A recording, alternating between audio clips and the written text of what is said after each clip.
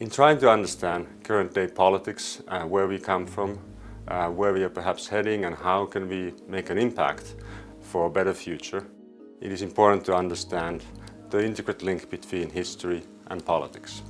At the Department of International History and Politics, where we're uniquely situated at the heart of international Geneva, seat of many multinational international organizations, we try to do this through a multiplicity of perspectives and approaches. Our courses cover, on the one hand, state-to-state um, -state relations and how they have evolved over time.